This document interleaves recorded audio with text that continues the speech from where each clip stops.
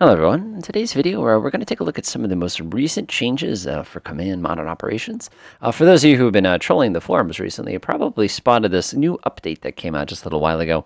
Uh, they're calling it the 114718 update. And inside this update, there's a bunch of neat little things here. Some of them are pretty straightforward. We got, you know, basic bug corrections. We added a whole bunch of new units. But there are two very interesting features that were just brought in. the first one is allowing you to use IRST, which is infrared search and track, as fire control, which is a very interesting discussion if you missed it. And the second thing it is, is it's changed the sonar model significantly. Now, there's some other things that are actually going to go on here. And if uh, you want to read this particular post, it's actually really, really interesting because it talks about the fact that the convergence zones are actually dependent on both temperature as well as how far you are away from the North Pole. It's actually really, really, this is a great technical discussion for folks who are like into this kind of things.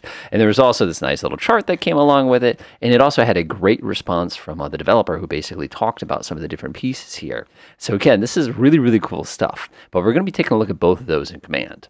So let's go ahead and take a look at the first one. Go pull this out of the way so you don't need to see it. So the first one was adding the ability to use IRST as a way to go ahead and target aircraft and actually engage them without giving anybody any warning.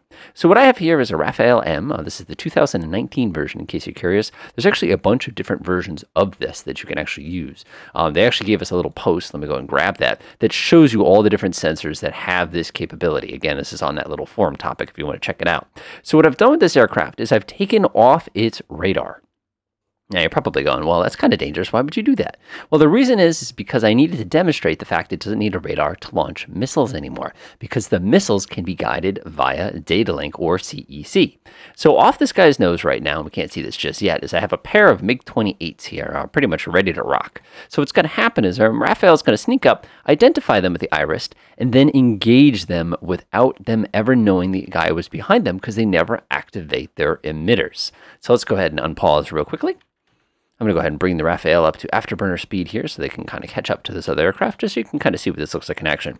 Rafale, by the way, is equipped with uh, two Meteors, which are these you know, pretty big missiles. Uh, again, this is, um, if you want to think about it, it's kind of like a knockoff of the AMRAAM. Again, what isn't? I think the AMRAAM is a knockoff of the Meteor.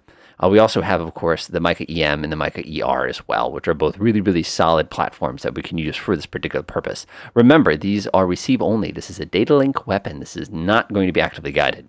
Okay, so we've already acquired one of the different targets. We're going to get a little bit closer. And we've already acquired the second target. So I'm going to go ahead and attack both of these. I'm just pressing F1, dragging a box around them. Let's go ahead and switch on to the other side real quick.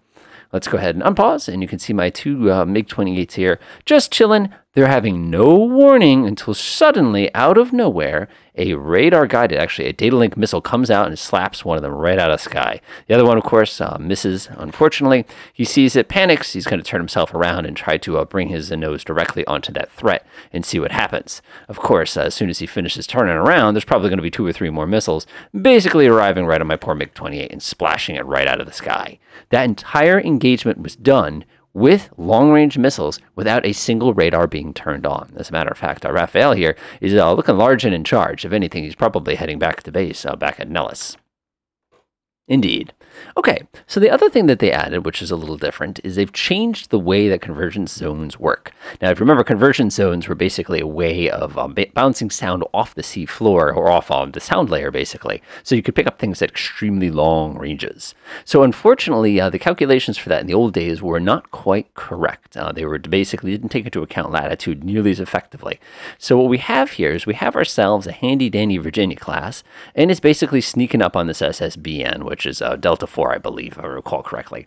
Now, this particular submarine here is chilling at 459 feet below sea level. This guy is chilling at about 853 feet below sea level. I'm going to go ahead and press the F2 key and bring up my depths. Notice we have the presence of a good old-fashioned uh, acoustic layer here. It's a pretty thick layer. You can see you could be chilling in there basically be invisible. Tons of room above it, tons of room below it. Also, keep in mind we are sitting here at the equator, creeping along, going pretty darn slow right now. Now, this other submarine is actually below the layer and we're above it. The only reason we're able to detect each other is because of the fact that the Virginia submarine here has got this spectacular towed array that's basically dipping down below the layer so it can actually detect the submarine. Now, where it gets interesting is if I order my Virginia to actually dive down, which I'll go ahead and do, I'll set it as deep as possible, and I go ahead and grab my Delta over here and order my Delta to go up, um, let's say shallow, you create an interesting problem where it becomes difficult to detect each other because they're on the wrong side of that. As a matter of fact, poof, you can see that delta 4 is completely gone now because it floated above the layer. So unfortunately, my sensor platform, and I've talked about this during the sonar tutorial, is now below where the actual layer is, and our target is above, which means I can never detect them anymore. So that's um, obviously at low altitudes, I'm kind of saying, uh, as far as equator goes, this is a known issue, and it's actually kind of complicated. Now here's where the change kicks in.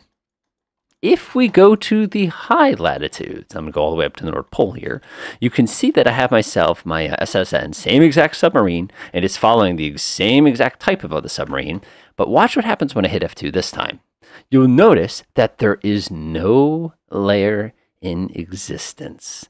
And not only is there no layer here because of our depth issue, you'll notice that we're picking up the submarine that we're trying to find behind us, not in front of us. Remember, a towed array is dipped behind you, not in in front.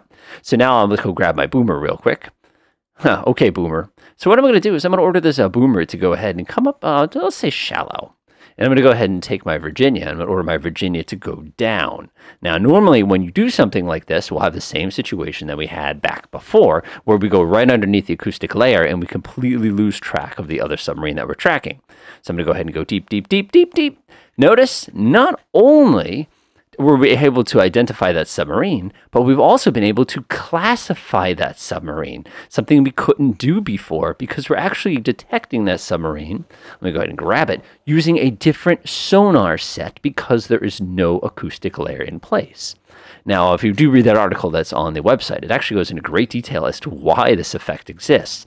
But from a playing perspective, you just have to know that the further up the latitudes you go, the deeper the layer is going to be, meaning your submarine operations are going to have to be significantly deeper if you wish to take advantage of that particular feature. Otherwise, you're going to be in the situation like we have over here, where I completely lose track of it until I reacquired, by the way, because basically I got right on top of it, so I was able to listen to it again. So these are the two big changes. Um, there was another change that came in that was very, very interesting. I just want to bring this one up super quick here. And that was the fact that they brought in new facilities. And our new facilities here are basically broadcast stations. Now, you're probably wondering why these are all here. It's because they're going to be bringing in PCLS receivers, which is basically the ability to detect units based on passive uh, radio signals. If you want to imagine a TV signal bouncing off an airplane and then being picked up by the special receiver, that would give us the ability to do that. This is not in the program yet at this time, so it's something you're going to have to kind of keep an eye out for. Other than that, I just thought I'd share some of those things for you in case uh, you haven't seen them or you're not sure why things are behaving differently than they used to before. The key thing to watch out for is there's only a limited list of IRST-based aircraft, and again, that effect is uh, still visible. All you have to do is click on your sub and go ahead and uh, push the F2 key, and you can see the existence of the layers. Enjoy.